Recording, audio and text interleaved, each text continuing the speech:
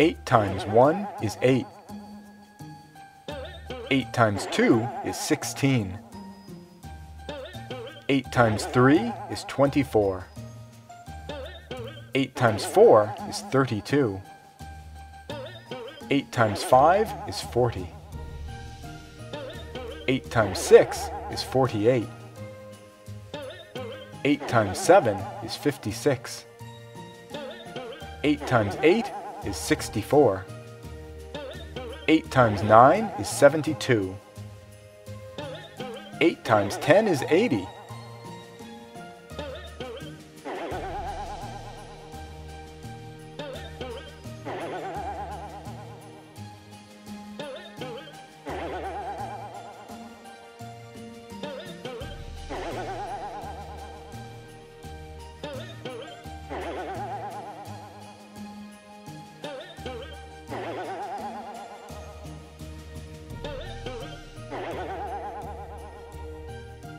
Thank you.